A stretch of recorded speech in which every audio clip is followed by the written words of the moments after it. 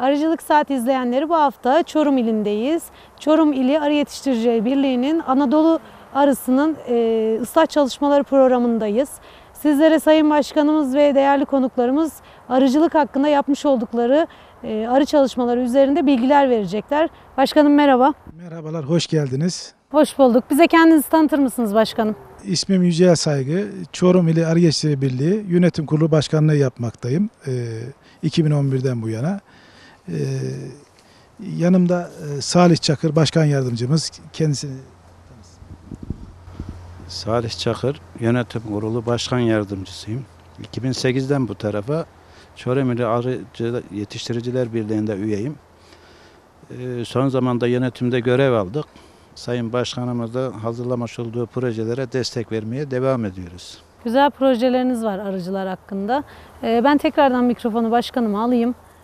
Ee, Başkanım Anadolu arısının e, ekotipinin geliştirilmesi nasıl bir kıvılcım oluşturdu da sizde ne yarattı da böyle bir ıslah çalışmasına girelim dediniz. e, Sibel Hanım, e, haklısınız. Şimdi her şeyin bir başlangıcı var. E, nitekim ben 2010 yılında Tarım Bakanlığı'ndan emekli olduktan sonra arıcılık yani en sevdiğim iş bu.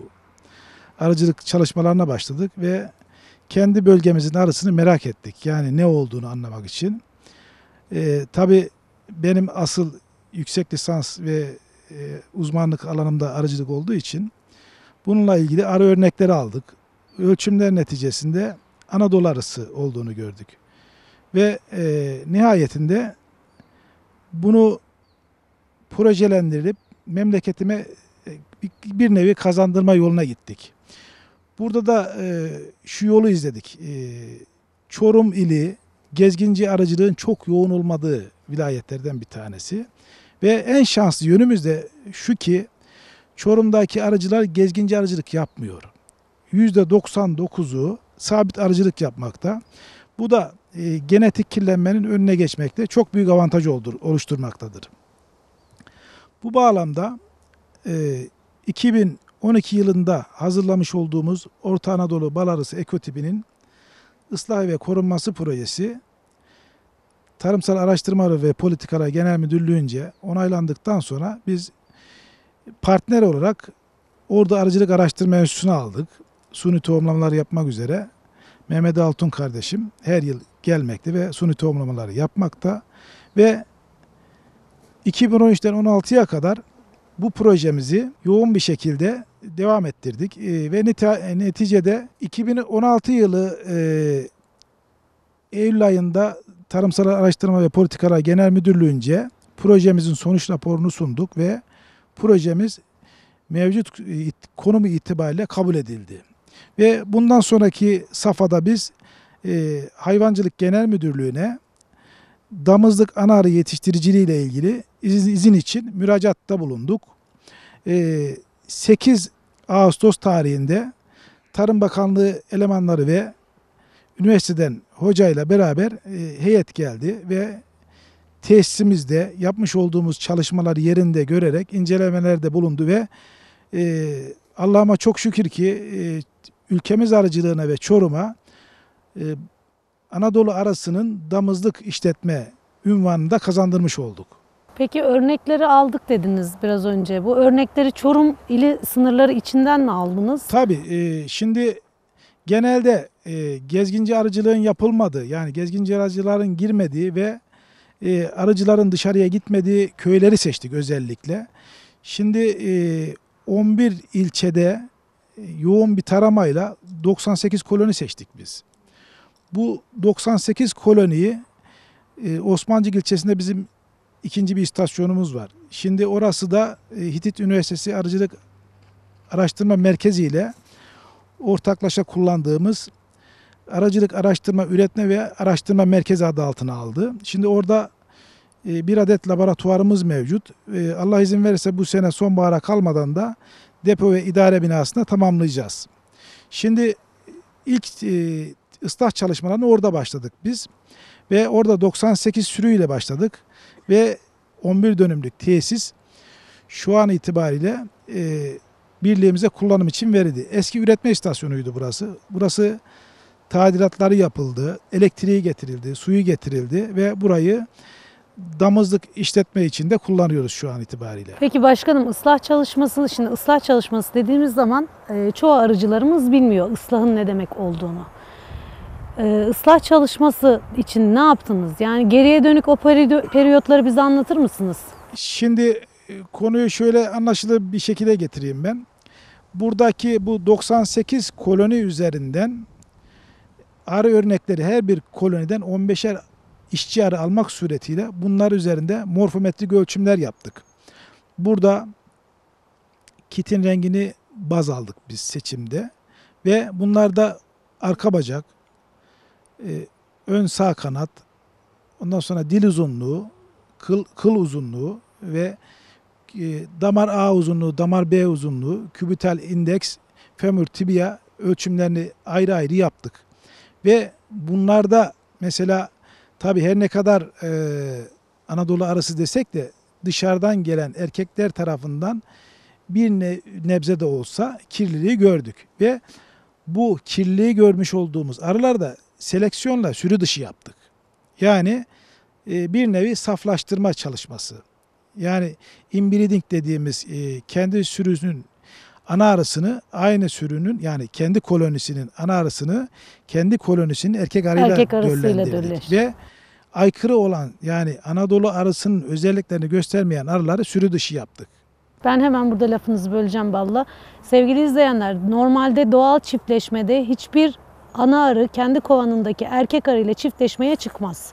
Bu normalde ana arının çiftleşmesine aykırı olan bir şey ama ıslah çalışmasında geriye dönük çalışmalar incelendiği zaman, incelenmeye başlandığında e, muhakkak kardeş çiftleşmeler yapılması gerekiyor. Başkanımızın anlattığı nokta tam burası. Evet başkanım. Evet yani bu bir nevi saflaştırma çalışması. Şimdi biz bu çalışmayı 3 yıl boyunca yaptık ve e, morfolojik yani morfometrik ölçümler neticesindeki oluşturan 50 sürüden 200 temel sürü oluşturduk ve 200 temel sürüden tekrar ölçümler yapıldı. Tekrar 50'ye düşürdük. Tekrar 200'e çıkardık. Bu şekilde 3 yıl boyunca devam eden bir ıslah çalışması yaptık. Peki burada üretilen e, damızlık olarak mı artık e, geçen hafta herhalde sizlere bakanlıktan e, onay için geldiler. Ee, Şimdi buradaki damızlık ana arı yetiştiriciliği talimatnamesindeki şartlar nelerdir? Bunlardan bir tanesi suni tohumlama laboratuvarının olacak. Suni tohumlama cihazlarının olacak. Suni tohumlamayı yapacak belgeli uzmanın olacak. Artı damızlık ana arı yetiştiriciliğini yapabilecek zooteknist olacak. Bunların hepsini biz Bir bünyemizde arada tutmak bulunduruyoruz. gerekiyor. Yani o bakımdan bir sıkıntımız yok. E, peki bu kolonileri çalışmaları yaparken ne gibi zorluklarla karşılaştınız başkanım? Şimdi e, en Hani büyük olayın hep en güzel tarafını anlatırız bizler. tabii şimdi Kamerada hep güzel olsun diye hiç böyle e, kötü taraflarını kimse eleştirmek istemez. en önemlisi burada bu sürüleri yaşatmak. Yani çünkü e, mesela arkadaşlar çok iyi bilirler arıcı arkadaşlar. E, normal yumurtlama esnasında e, petek üzerinde bazı boşluklar görülür. Şimdi biz bunları diploid erkek gözleri deriz. Ne kadar kendi erkeğiyle çiftleştirme oranı yüksek olursa bu diploid erkek gözleri de o kadar yüksek olacaktır.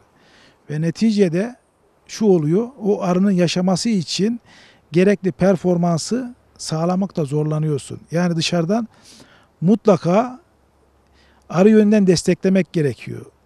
Yani e, o sürüye sürekli taze işçi arılar vereceksin. Veyahut da antenleri görünen yeni çıkmak üzere olan kolonilerle desteklemek zorundasın ki o sürü hayatiyetini devam ettirsin. Yoksa kışlama yönden bayağı sorunlar çıkıyor.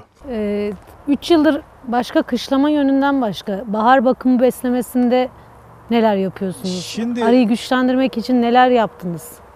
Şimdi bizim buradaki en büyük şansımız Anadolu arısıyla çalışmak. Şimdi izleyicilerimizin daha iyi anlayabilmesi için Anadolu arısı nedir? Tabii şimdi hemen bu soru aklımıza geliyor değil mi? Şimdi diğer arılara göre uyum ve adaptasyon kabiliyeti çok yüksek. Yani bulunmuş ol, bulunmuş olduğu ortama çok rahat uyum sağlayan bir arı. İkincisi kışlama kabiliyeti çok yüksek. Yaşama gücü çok yüksek. Mesela ilk başta ben demiştim ya o 98 koloniden 96'sı onlar 2-3 çerçeve arılardı. Onların hepsi kışla, kışladı. Yani o kışı geçirebildi ilk topladığımız temel sürü. Bu gösteriyor ki arılarımızın yaşama gücü ve yaşama kabiliyeti çok yüksek. Artı hastalıklara dayanıklı oluşu. Artı her şartta mutlaka bal verir. Bu en büyük artılarımızdan bir tanesi. Ee, bu özellikleri bir araya getirdiğimiz zaman ortaya mükemmel bir arı çıkıyor. Peki e, şimdi bazı arı ırkları var. Kabarmış petekle daha çok iş yapıyor. Daha çabuk yürüyor kovanlarda. Bazıları da temel peteği seviyor. Şimdi benim Anadolu arasında gördüğüm şu özellik var. Kendi arılığımdan da bildiğim için Evet. e, temiz petekleri tercih ediyor. Evet. E, sizin bu bu aşamada bu- bunlara dikkat ettiniz mi? Şimdi tabii e, yani şimdi arılar genelde e, bilhassa ana arılar e, kendi yeni kabartılmış petekleri tercihi o bir doğru. Doğru bir tespitiniz. E, yalnız bu arının en büyük özelliği e, birden patlama yapıyor. Yani altı çıtalı bir arı bir bakmışsın ki hemen ilavede. 15 gün sonra ilavede. Bu mükemmel bir özellik. Yani kısa bir sürede ilaveye gelme özelliği var bu arının. Peki satış için nereleri gönderiyorsunuz? Yani şimdi, Şimdi- Orta Anadolu, şimdi sizi bu programdan sonra o kadar çok arayan olacak ki. Akdeniz Evet. bölgesinden arayacaklar, Ege'den arayacaklar, Karadeniz'den arayacaklar. Yani Sibel Hanım bakın bu bu sorunuz var ya tam yerine geldi. Şimdi bakın bu ülkede Kafkas Kafkas arısı diye Akdeniz'e de gönderdiler, Trakya'ya da gönderdiler. Daha doğrusu Türkiye'de girmedik, arılık bırakmadılar Kafkas arısını empoze etmek için. Halbuki benim tezim şu. Her horoz kendi çöplüğünde öter. Yani bırakın Kafkas arısı kendi coğrafyasında yaşasın. Bırakın Anadolu arısı da kendi coğrafyasında yaşasın. Şimdi bu bağlamda Elazığ'dan Malatya'ya, Maraş'tan ne bileyim Kayseri'ye bu bölgelerin hepsi Anadolu coğrafyası. Şimdi buralara biz iki yıldır ana arı gönderiyoruz. Herhangi bir sorunumuz yok. Ama dediğiniz gibi arkadaşım Karadeniz'de arkadaşım veyahut da Antalya'da yaşayan veyahut da Ege'deki arkadaşım veya Trakya'daki arkadaşım benden Anadolu arısı istemesin. ya tam yeri gelmişken başkanım siz eski bakanlıkta Tarım Bakanlığı'nda görev yaptığınız için sorayım. Bakanlığın onayladığı hatları bize bir anlatır mısınız? Ya ben artık arıcılarımızdan, yeni hobici arıcılarımızdan Giresun arısı var mı? İtalyan arısı var mı? Karniyol ırkı var mı? Yani bunu damızlığı olmayan bir şeyin üretimi yok. Şimdi bakın e, aynen öyle. E, şimdi televizyonlarda bangır bangır çıkıyor Anadolu arısı Anadolu arısı. Ya biz 2012'de başladık bu işe. Bakın kaç sene geçti. 5. senemiz değil mi? Biz 5. senede ancak çıkıyoruz. Bu Piyasaya. insanların karşısına da bizde Anadolu arısı vardır diyoruz değil mi? Aynen yani şimdi e, benim e, naçizane vatandaşlarımdan isteyeceğim şu. Bu tür asparagas haberlere inanmasınlar. Yani bakanlıktan tescili yapılmamış, bakanlıktan sertifikası olmayan arıların varlığına inanmasınlar. Şimdi e, vatandaşlarımız şunu bilmesi lazım. Damızlık ana arı dediğimiz nedir? Damızlık vasıftaki ana arı kendi karakterlerini, kendi özelliklerini eğer ki döllerine aktarıyorsa damızlıktır.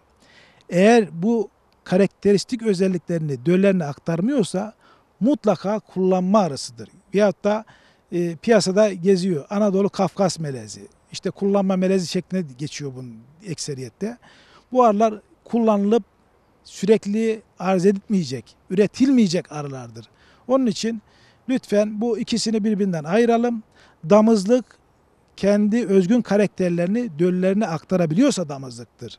Peki damızlığı hangi arıcılar kullanmalı? Her önüne gelen Evet, e, şimdi- bal arıcılığı yapan ya da işte ne bileyim polen toplayan arıcı mı kullansın damızlık ana arıları? Şimdi buradaki en önemli Yoksa unsur, en önemli bizim noktamız ana arı üreticilerine gerçekten kaliteli damızlık üretip onlara e, onlardan onların üretim yapmasını mı sağlamak olmalı? Sibel Hanım şimdi bunun tabana yayılmasının en kolay yolu ana arı üreticileridir. Bu birincisi. Ama der ki vatandaş ben damızlığımı Çorum Arıcılar Birliği'nden alacağım. Kendi arılarımı Anadolu arısı olarak sürümü yenileyeceğim. Bu da bir tercih meselesidir. Yani biz sadece ana işletmeleri alsın, bunu tabana yaysın demiyoruz. Bunu bilinçli arıcılar alıp kendi arılarını yenilemekte, yani kendi arılarını Anadolu arasından düzenlemekte de kullanabilirler. Ama larva transferiyle değil. Mümkünle, mümkünse bölme yoluyla en Evet, doğalı çünkü evet. sağlıklı olanı Evet. arıcının yapabileceği en doğal Tabii. olan o. Evet. Yani şimdi geliyor adam 60 yaşına gelmiş ben larva transferi öğreneceğim diyor. Diyorum ki amca gözlük kullanıyor musun? Kullanıyorum. E amca sen yoluna yürüyemiyorsun kusura bakmayın da. Şimdi ben bunu deyince bazı yaşlı amcalarımız da alınıyorlar. Sibel Hanım sen böyle dedin bize diyorlar. Şimdi bu işi öğrendiğimizde işte suni tohumlama yapan arkadaşa şimdi mikrofonu verelim. Evet. Kaç yaşında öğrenmiş bir öğrenelim. Evet, e, buyurun Mehmet Bey. Kendinizi Merhaba. bize tanıtır mısınız? Ben Mehmet Altun, e, Ordu Arıcılık Araştırma Enstitüsü Müdürlüğü'nde arıcılık teknikeri olarak çalışıyorum. E, Yaklaşık 15 yıldır suni tohumlama yapıyorum. Kaç yaşında öğrendiniz bu işi? Bu işi 25 yaşında öğrendim. Ondan beri devam ediyorum. Yani 60 yaşındaki adama uygun değil. Onu demeye çalışıyorum. Kızıyorlar bana öyle deyince ama kızsınlar. Ben doğruyu öğretmek zorundayım onlara. Evet kendi kovanlarında e, damızlık sürüleri olmalı mı arıcının? Evet olmalı. Bal verimi yüksek, oğul eğilimi az, e, polen zamanında poleni çok getiren, işte balı toplayabilen arı olduktan sonra ama bölme yöntemiyle birer çerçeve alıp bölebilip de e, arılarına ana arı uygulayabilirler. En sağlıklısı bu. Şimdi gelelim suni tohumlamaya. Biraz meşakkatli bir iş. Evet. Ee, bize yaptığınız işi detaylı bir şekilde anlatırsanız izleyenlerimize daha iyi olur. Şimdi seçmiş olduğumuz e, ana hat ve erkek hatlardan oluşturduğumuz bil- bildiğimiz e, arıların birbiriyle çiftleşmesi kısa e, tarifiyle suni tohumlama. Bu bildiğimiz ana arı e, e, ve bildiğimiz erkek arılarla e, çiftleştirmemiz e, özellikle. Sadece doğal ortamda değil, Değil, sevgili e, izleyenler. laboratuvar laboratuvar ortamında erkek arılarının spermlerinin alınıp ana arıya e, nakledilmesi olayı. Ben bunu bir nevi tüp bebek işlemi diyorum. Arıcılarımızın anlayabileceği şekilde. E, nelere Kontrollü- dikkat ediyorsunuz? Kontrollü çiftleştirme de diyebiliriz buna. Çünkü e, ana arı biliyorsunuz havada e, hangi erkeklerle çiftleşeceğini e, bilemeyebiliriz. Ama diğer türlü seçtiğimiz kovanlar işte hastalıklara dayanıklı, daha verimli, ırk özelliğini taşıyan e, ana hat ve baba hatların çiftleştirilmesi. Ne gibi yani şimdi laboratuvar ortamına girdiniz. Nelere dikkat ediyorsunuz laboratuvar? Tamam erkekleri aldık belli sürülerden Hı hı. e, enjekte etmeye başlayacağımız o kısma kadar nelere dikkat ediyorsunuz? Şimdi damızlık ünitesi laboratuvar olunca ben de eskiden kaynaklanan geriye dönük izleyenlerimiz bilirler. Hani biz öyle laboratuvara suni tohumlama laboratuvarda ana arı enjekte edilen, sperm enjekte edilen yere elimizi kolumuzu sallayarak giremezdik. Yok giril, girilmiyor tabii ki. Ee, burada e, tohumlama laboratuvarında, laboratuvarında özellikle dikkat edeceğimiz şey temizlik, e, hijyenik olma, el ellerin e, her anariden sonra yıkanması, e, temizliğin her anariden sonra e, yine aynı şekilde e, enjektörlerin temizlenmesi gibi işlemler yapıyoruz. Al, e, kutulardan çiftleştirme kutularından aldığımız anarları e, markaladıktan sonra kendilerine numara veriyoruz. Bu numaralarla yine e, geri e, kutulara veriyoruz. Kendi çiftleştirme kutularımıza. O kutularda tabii ki ana rızgarası var. Anarın uçuşunu engellemek için. Bu şekilde muhafaza ediyoruz kutularda. E, kutularda bekliyor. Kekle beraber anarıyı alıyorlar zaten kutular. Direkt anarıyı vermiyoruz geri getirdiğimiz anarları. Kafesin içine koyuyorsunuz. Evet, kafesin kendini. içerisinde kekle beraber kekten Kekle alıyorlar beraber kekten çıkarıyorlar kendi kutusuna tekrardan. Ee, belli, bir, belli bir olgunluğa geldikten sonra da yumurtlama düzenine bakılaraktan satışa sunuluyor. Evet yaklaşık 10-15 gün e, bekliyoruz zaten anarın yumurtlamasını. O anarlarda eğer yumurtlamıyorsa 10-15 gün sonra. Onları da sıkıyoruz zaten kafasına. Evet yeni yeni işlem yapmak için. Teşekkür ediyoruz. Kısa bir reklamdan sonra tekrardan karşınızda olacağız. Arıcılık Saati izleyenleri programımızın bu bölümünde şimdi e, birinci bölümde suni tohumlamanın e, nasıl yapıldığını anlattılar. E, ama bunun ilk aşaması var. Üretim kovanı hazırlanması, aşılamanın yapılması. Bu aşamaları anlatacaklar. Başkanım önce sizden mi başlarız? Konuşmaya direkt arkadaşlara mı verelim? İsterseniz siz bir giriş yapın. Şimdi şöyle söyleyeyim. Burada damızlık anarı üretimindeki işlevsel fonksiyonlara baktığımız zaman burada damızlık kovanların seçimi, başlatıcı bitirici kovanların hazırlanması, aşılamanın yapılması, suni tohumlamanın yapılması başlı başına bir süreç. Şimdi bu süreci anlatmak üzere ben e, arıcılık teknikeri Fatih kardeşime veriyorum mikrofonu. Buyurun. Sizi tanıyabilir miyiz Fatih Bey? İyi günler, hoş geldiniz özellikle. Hoş bulduk. Ee, Ben Muğla Üniversitesi 2010 yılı mezunuyum. Arıcılık teknikeriyim. Buraya 2015 yılında işe e, tarım danışmanı olarak başlamıştım. Daha sonra Yücel e, Başkanımız bu e, arıların üretimiyle ilgili bölüme geçmemi istedi. Ben de arıların hazırlanmasıyla, buranın işleriyle uğraşmaktayım. Ne güzel kendi meslektaşımı bulmuşum. Gözlerim parıl parıl parladı. O kadar çekime gittim hiç arıcılık teknikeriyle denk gelmemiştim. Sen bir ilksin Fatih. Teşekkür ederim. Şimdi e, üretim kovanı hazırlıyorsun. İşte başlatıcı, başlatıcı dediğimiz anasız kovanlar, bitirici dediğimizde çift katlı analı kovanlar arada ızgara olmak kaydıyla. Nelere dikkat ediyorsun ya da Şimdi e, ilk önce nelere dikkat ed- ediyorum? Şimdi dediğiniz gibi başlatıcı, besleyici, bitirici bunlar birbirinden farklı arılar. E, yani farklı hazırlanış şekli farklıdır. Özellikle e, başlatıcı koloniden başlayayım ben. Başlatıcı koloni kesinlikle çok güçlü olmalı ve güçlü, gücünün yanında ekstra bir e, süt üretim aşamasına gelmiş genç işçiler olmalı. Ve e, bunun en az bir hafta öncesinden ana arısı alınmalı ki kendisini e, ana arı üretmeye istekli kılmalı. Ve e, bunu hazırlarken e, güçlü kolonileri seçiyorum. Sadece güçlü olması yetmiyor. Aynı zamanda hastalıklardan arı mı? Herhangi bir hastalık var mı? Veya paraziti var mı? Bunlara dikkat ediyorum. Geriden gelen yavru miktarına, e, doğmak üzere olan yavru miktarına bu da sürekliliğini kılar. E, güçlü olmasına dikkat ediyorum. Aynı zamanda sadece bunlar da yetmiyor. İçerisinde açık yavru olmamalı, e, herhangi bir kendinden meme yapmış olmamalı, tamamı temizlenmiş olmalı ve bu yaklaşık diyelim ki 10 çerçevelik güçlü kovana sığmayan bir arıyı 2-3 çerçeveye e, içindeki diğer çerçeveleri alıp sıkıştırıyoruz ve buna e, polen birikmiş çıtalardan veriyoruz. Polen neden önemli başlatıcı için? Şimdi arılar e, sade bal yiyip de arı sütü üretemez. Polenin içinde her çeşit vitamin ve mineral olduğu için arılar poleni tüketip genç işçiler bunu tüketiyor ve süt salgı bezleri geliştikten sonra e, ana arı verdiğimiz başlatıcıya verdiğimiz aşılamış olduğumuz çerçevelerdeki yüksükleri bu sütle beslemek zorunda. Bu da polen olmasa olmuyor. Yine sade bu da yeterli değil. Havanın güzel olması lazım. Fırtınalı, yağmurlu veya soğuk zamanlarda e, kalite düşer. E, bunun dışında ekstra bir besleme kesinlikle gerekiyor. E, şeker şurubu. Şeker dışında başka bir şey kullanmıyoruz. Sadece pancar şekeri kullanıyoruz. E, ve e, bunu içine bal veya polen de karıştırabiliyoruz. Bu da hangi zamanlarda? Dışarıda polen gıt olduğu zamanlarda bunu yapıyoruz. polenin kesildiği zamanlarda. Ee, diğeri besleyici koloni. Şimdi başlatıcı koloninin görevi biz verdik birinci gün. Ee, ikinci gün bunun verdiğimiz çerçeveleri bundan tekrar alıyoruz.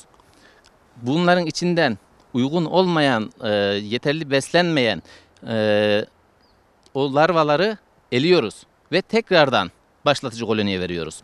Bu da neyi sağlıyor? Ana arının verdiğimiz ana arıların birbiri arasındaki e, birisinin kalitesinin düşük olmasını engellemiş oluyoruz bu sayede. Hepsi aynı kalitede olmuş oluyor.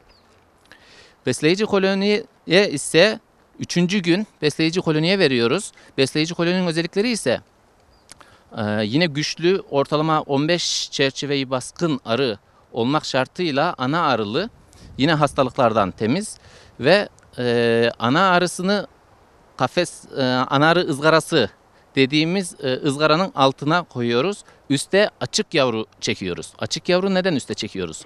Vereceğimiz e, günlüklü yani aşıladığımız larvayı o açık yavrunun arasına veriyoruz ki arı orada besleyici yaştaki arılar o e, verdiğimiz çıtanın çevresinde olsun.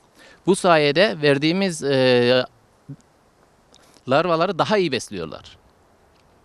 Yine e, besleyici koloniyi de besliyoruz. En son bunların yaşı kapandıktan sonra, gözleri kapandıktan sonra bitirici koloniye veriyoruz. Bu da sadece görevi sıcak tutmak.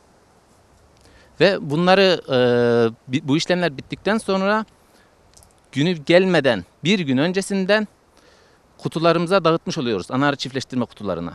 Tabii ki anasız olanlara. Tabii ki. Anasız olanlara veriyoruz. Ee, severek yapıyorsun herhalde bu işi. Şakır şakır anlattığına göre. Ha, Tabii ki severek yapıyorum. Çocukluğumdan beri bu iş üzerindeyim. Ee, kendim istedim aslında bu mesleği. Sevdiğim meslek. Arıyı severim çünkü arı olmazsa dünyada hiçbir canlı kalmaz.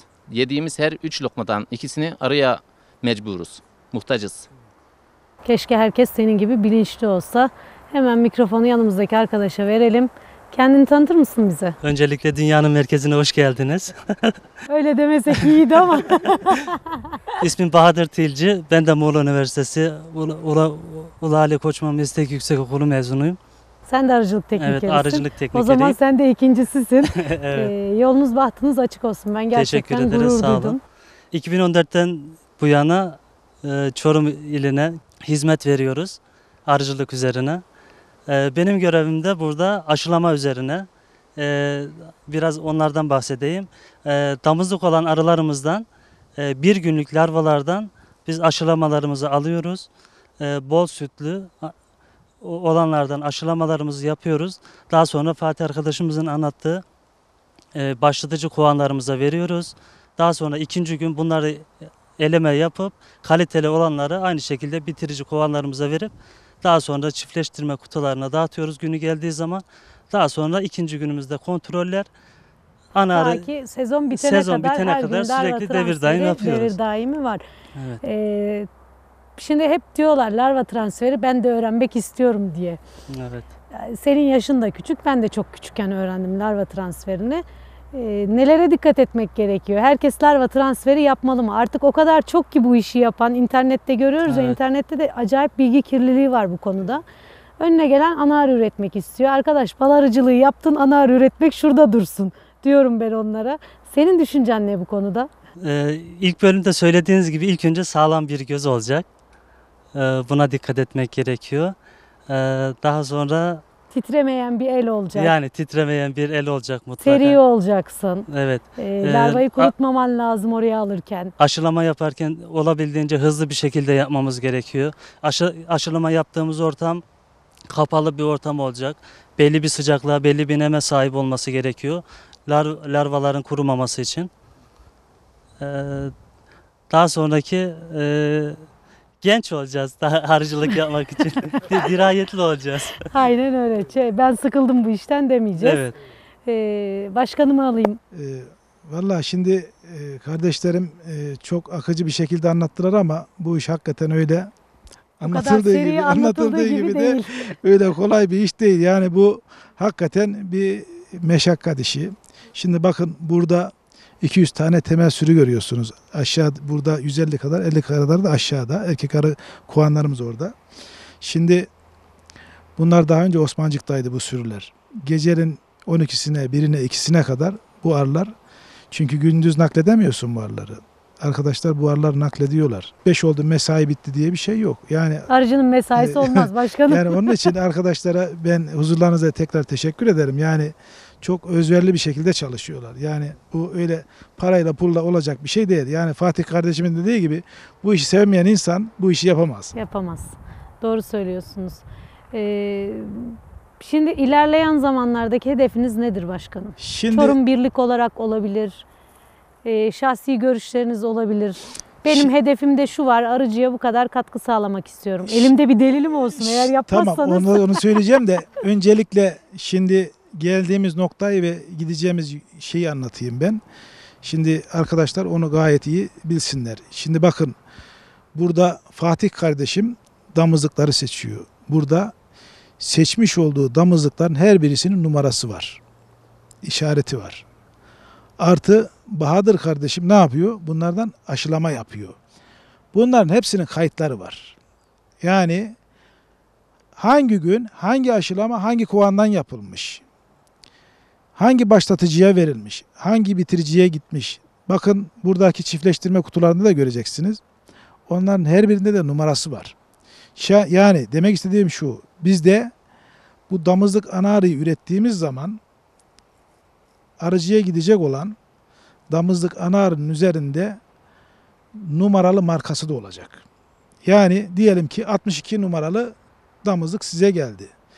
Siz bana sorduğunuz zaman ben onun hangi kovandan hangi tarihte aşılandığını damızlığına dair yani döl kontrolünü geriye dönük olarak söyleyebilecek durumdayım. Şimdi bu bize ne getirecek? Şimdi asıl hedefimiz ne burada? Verimlilikte en üst seviyeyi yakalamak değil mi? Evet. Şimdi biz bu temel sürüyü oluşturduğumuzdaki arıcı elindeki bal verimimiz 25 kilogramdı. Şimdi şu andaki durumu söylemeyeceğim ben.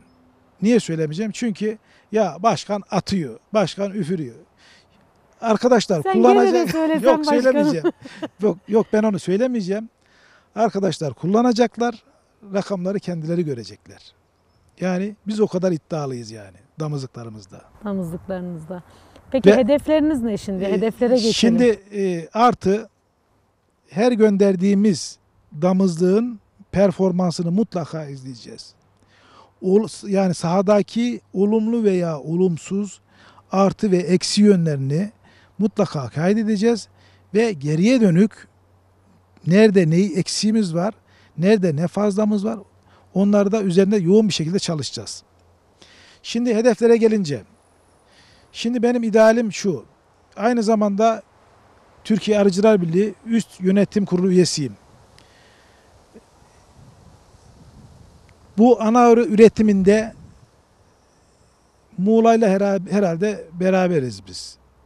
Şimdi Muğla gibi, Çorum İli Arı Yetiştirici Birliği gibi birliklerimizin sayısının artmasını istiyorum. Birliklerin kuruluş amacı o değil miydi Evet. zaten başkanım? Yani Tabii. Şimdi biz diğer her- birlik başkanları kızacaklar ama kızmasınlar. Yok şimdi onlara da onlara da kızmıyorum. Çünkü bizim üst birlik olarak hedefimiz arıcılarımızı yani birliklerimizi bu işe kanalize etmek. Çorum Arıcılar Birliği gibi çalışan birlik sayısını artırmak. Ha damızlık yapamıyorsa bile ana arı işletmesi olsun. Şu andaki 117 herhalde ana arı işletmesi sayısı Türkiye'nin ana arı ihtiyacını karşılayamıyor. Açık ve net söyleyeyim. Ve ana arı kayıplarındaki en büyük sebeplerinden bir tanesi yaşta ana arı kullanması. Şimdi bunun önüne geçilmesi için damızlığı her birlik yapamayabilir ama her birliğin bünyesinde küçük de olsa bir ana arı işletmesinin olması lazım. Yani ben e, Çorum'u şunu şöyle yapalım böyle yapalım değil. Türkiye'mizi bir yerlere getirelim. Hedefimiz o. Yani biz bu işten ticari gayle gütmüyoruz. Arkadaşlarım kendi ürettikleriyle maaşlarını alıyorlar. Yoksa ben artı bir şey koymuyorum ki. Kendi emeklerinin karşılığını alıyorlar. Yani Türkiye genelinde de olması gereken bu. Yani ne yapacağız?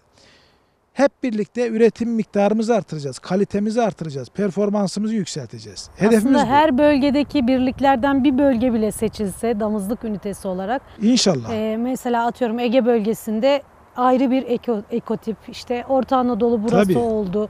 Tabii. Güneydoğu, Doğu Anadolu herkes kendi oradaki ihtiyaçlarını oradaki e, o işletmelerden sağlasa en azından Tabii. bu kadar kirlilik olmaz. Tabii tabii aynen öyle aynen öyle. Var mıdır eklemek istediğiniz bir şeyler başkanım? Valla arıcılarımıza e, bol verimler, sağlıklı arıcılıklar, ne bileyim bol kazançlar dilerim. Temennim bu. Genç arıcılar sizin var mı eklemek istediğiniz? Keşke şunu da söyleseydim dediğiniz. Geldiğiniz için teşekkür ediyoruz. Ee, bu fırsatı bize verdiniz. Herkese bol bereketli bir gün diliyoruz. Bol bereketli yıllar. Yine ben de geldiğiniz için teşekkür ederim. Şimdi bu program normalde çok kısa. Arıcılığı anlatsan bitmez. Anadolu arısını anlatsan yine bitmez ama özetlemek istiyorum. Ee, Anadolu arısı diğer arılardan üstünlük özellikleri var. Ee, ben kendim arılarım var. Kendim bu işe başlayalı 10 yılı geçti ve diğer arılarla ben çalışmalar yaptım. Yani Kafkas, Karnıyol, Belfast, Muğla bunların birbirinden çaprazlanması ve bunların hem e, bu bölgede ova kısmında alçak kesimlerde hem de yayla kısmında 2000 metre civarlarındaki dağ köylerinde e, denedim. Dışarıdan gelen arılar kesinlikle bu bölgeye ayak uydurmuyor.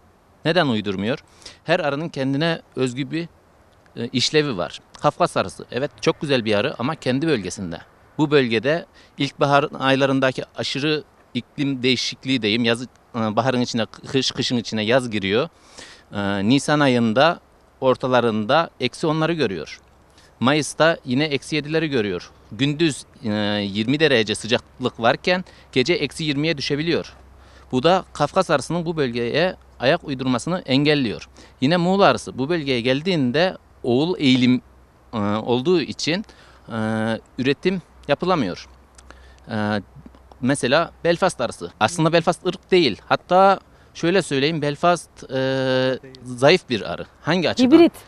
Hibrit ama bu bölge için zayıf bir arı. Bu bölgede de denedim. Ya hibrit Ee, demek bir sonraki sezon nesli sonu vermiyor. nesli vermiyor. Yani Onu da geçtim. gidiyor. özellikleri gidiyor. Onu da geçtim. Damızlık değil çünkü. En kötü yanı eş- eşek arasına yani yabani eşek arasına savunmasız kalıyor. Özellikle Eylül ayında bu bölgeye gelen e, Belfast arıları eşek arasına dayanıksız kaldığı için sönmek zorunda kalıyor. Yine ba- ilkbahar ve sonbahar dönemlerinde Anadolu arasına bir verirken ona beş vermek zorundasın. Çünkü aşırı yavruya gittiği için e, stok yapamıyor kışın. Bu da bu bölgede kışlamasını engellemiş oluyor. E, bizim bu bölgede e, arılarımız ise yaklaşık olarak değişik arıcılarımıza gidiyor. Bunlar değişik bölgelerde yani iklim açısından gittikleri bölgelerde ortalama 30 kilo ile 80 kilo arasında bal verimi sağlanmaktadır. Bu da şunu gösteriyor ki e, Amerika'da yapılan çalışmalar Super Double, Bit Double gibi kovan başına 120 kilo veren arılara yeni rakip olarak Anadolu arısı gelmektedir. İnşallah Türkiye'de 16 kilogram Evet buna da değinelim. Türkiye'deki bal verimi 16 kilogram hesap ediliyor. Bir de buna e, şeyi ilave ediyorlar. Baharın beslemek için, arıyı geliştirmek için verilen şekeri hesap ediyorlar. Bunu 8 kilograma kadar düştüğünü söylüyorlar verimin. Ama ben sadece e, Mayıs ayında iki çerçevelik bölme arıyı kendi haline bıraktığımda bile ortalama bal verimi 10 kilo. Ve bu bölgede de Haziran 15'inde bal akımı başlıyor. Türkiye genelinde gün dönümden sonra başlar. Asıl bal akımı zaten 15 günlük bir dönem, Yani bal kısacık bir dönem. e, hazırlıksız Hazırlık. arı bile 10 kilogram bal yapabilmekteyken bölme arı siz anaç arıların e, ortalama ne kadar bal vereceğini kendiniz tahmin edebilirsiniz. Ben onu Allah'a iş bırakıyorum. Allah'ın işine karışmıyorum Fatih. Teşekkür ediyorum vermiş olduğum bilgiler için. Ben de size teşekkürler ederim geldiğiniz için. Ağzınıza, Sizin sayenizde- sağlık. Türkiye e, yeni bir arıyla tanışmış olacak ve arıcılarımız da inşallah memnun kalacaklar. E, ve şöyle özet geçmek gerekirse emek verirsin, hiçbir şey alamazsın. Emek verirsin, verdiğin emeğin karşılığını alırsın. İkisinin Tabii, arasındaki ikisinin fark arasındaki Anadolu arısı. ince çizgi. Ee, teşekkür ediyorum Fatih kardeşim. Sevgili izleyenler bugün çok verimli bir program olduğuna inanıyorum. İnşallah güzel bilgiler almışsınızdır arıcılık saatinden. Bizi izlediğiniz için teşekkür eder, bereketli günler dileriz.